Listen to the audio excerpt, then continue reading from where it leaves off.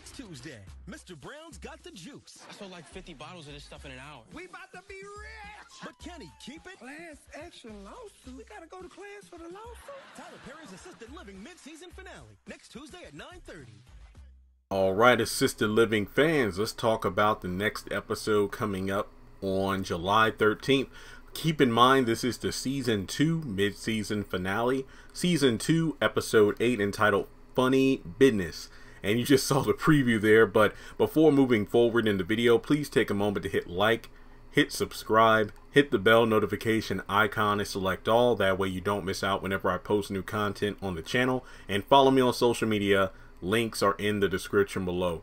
Uh, not too much of a lengthy video here. It just seems like you know Brown and FA start their own business selling some sort um, some sort of like juice, and at the end of the day they get hit with a class action lawsuit. So either it has to do with you know.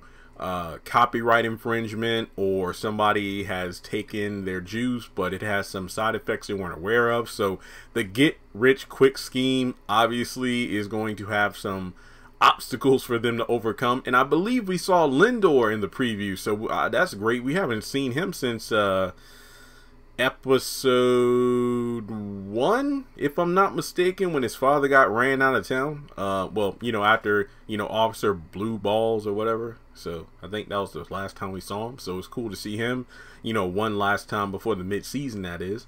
But aside from that, you know, like I said in my episode reviews, it's cool to see different combinations of characters where, you know, every episode won't have every character, but when a character does show up on screen, we get to know a little more about them as well as their dynamics with other characters. So I have no complaints. I'm looking forward to what this episode has to offer.